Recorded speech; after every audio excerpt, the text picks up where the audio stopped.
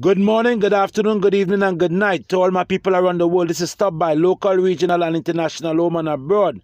We are in the region, in the Caribbean region, in Trinidad and Tobago. PCP McDonald Jacob said that we are working on it and we are doing some investigated. We are working with the police. Two officers have been shot dead.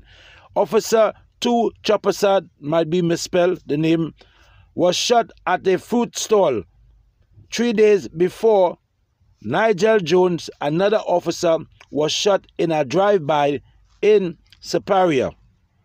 It is said that it could be an inside job. Nobody really know. But 14 were arrested and the officers suspect nine of them could be connected to the murder. Here is McDonald Jacob. Where we arrested 14 persons at least nine of them are deemed as suspects to be involved in these activities. And presently, our investigators from the homicide Bureau of Investigations, with the support of the officers in the Northern Division, is interviewing and doing what is required. Well, as you can hear from the Commissioner of Police, McDonald Jacob, they are doing all they can and they are working with other entities.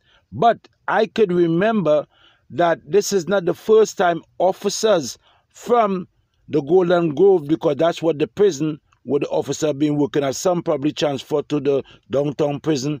Um, but they were being targeted not just now, and they were trying to get firearms, like to be on the streets with. I don't know if they had made that out, but this is Golden Grove right? And let's hear what the officer had to say again. McDonald. We normally discuss the manner in which how best we can provide the necessary security for prison officers, the part that police officers and, and our patrols and we can play. Say my part, right? In every sector, there's good and bad, right? And the reason why this is happening is because some of the officers actually treat some of the prisoners really bad. But there's good officers and there's bad officers, just like there's good prisoners and bad prisoners, right? So, again, these two, I don't know what they did, I don't know what happened, but at the same time, I would like people to understand do not just take your vengeance out on any and anybody, right? I'm not saying go target the person who hurt you, but at the same time, do not be targeting people who have family because um, Officer um, Nigel Jones was shot right in front of his daughter. I didn't mention that. Right in front of his daughter, he was shot, right? And this officer here, right, to Chaparak, but I think it's I put Chapasad. He was shot in front of a food stall. Now, again, the officers been crying out for help years and years and years ago. So it's time the the entity, the prison officers corporation or the union step up and do what they have to do to protect both parties, the prisoners and the prison officers. This is stop by, share, like, and comment. And don't forget to subscribe. As I said, 14 were arrested. It boiled down to 9 being suspected of the two murders, right? I don't know what gang did it. I don't know if it's a gang act. I don't know if it's an inside job. But I could tell you that these officers are being targeted not just now, but they're being targeted for years. And they will be targeted still because there is no actual lid on the situation. This is stop by, share, like, comment. Don't forget to subscribe. Some of you all don't even comment, man.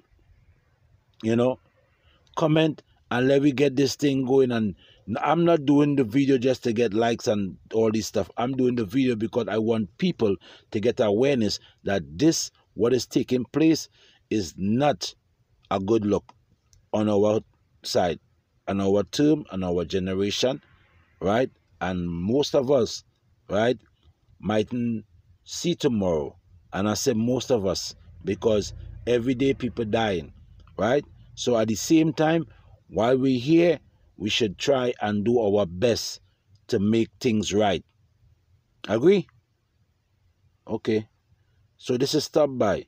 Share, like, comment. Don't forget to subscribe. Them officers and them really have it hard. But the prisoners have it hard too. You know? Because the officers, some of the officers, them take bribe. Right? And then some of the um, prisoners don't have no money to bribe the officer. It go hand in hand. Right? And that's what really happening. You dig? So when you can't get an officer to do what you want to do for you, right? You mad at that officer. The minute that you feel the officer pulling some type of rank on you, you as a prisoner will try to extend your hand. And that is what's so much going on. So, like they say, they might, not they might, they will try to cut down on, well, they didn't use the word so much corruption, corruption but if you can tell, there's corruption taking place in there. As I said, this is stop by, share, like, and don't forget to comment. All right? I'm blessed. Subscribe. I'm out.